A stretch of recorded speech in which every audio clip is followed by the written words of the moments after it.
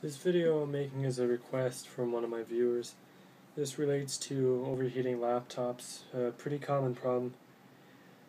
In this video here I'm going to explain the, the most basic way to solve this problem. The majority of the cases I've seen out of all the laptops I've rebuilt is simply lack of cleaning. Be it in the, the vents, the heatsink, the fan assembly. Uh, commonly what you do is just clean it out. Now, for this video here, I'm going to use this laptop. It's an HP G6, the one I use actually. And what you'd want to start off first is find the vent where the outlet is. See out of all the vents here, the outlet, and you have your fan, the heatsink assemblies here. And there's usually heat pipes that run off to the CPU, GPU Northbridge. Now what you'll want to do is take this vent and basically just hold it up somewhere or lay it down and most people use an air compressor but since I don't have one I have this balloon pump. Now this is from a, a dollar store. You can use any sort of pump you have. Do not use a vacuum though. So what you'll do is you'll take the vent here and take the outlet of the pump or the air compressor and blow the dust out of it.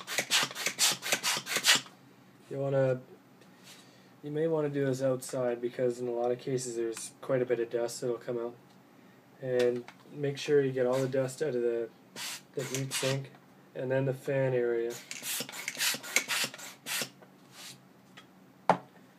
And also go over any other vents while you're doing that, especially if you're using an air compressor, you're borrowing a friend's or something. Go over your keyboard and everything as well, and just blow the dust out of everywhere. Now, if that doesn't work, another thing I didn't mention, but this is more so about cleaning. If the fan's not working at all, if it was jammed from debris or dirt or something, and say the motor's burned out or it just doesn't work anymore, what you'll want to do is if you want to fix it yourself, you look up the part number or just the part itself, order it on eBay, get it from a store somewhere, and replace it yourself, or you can take it and get it replaced by a technician at your local computer store.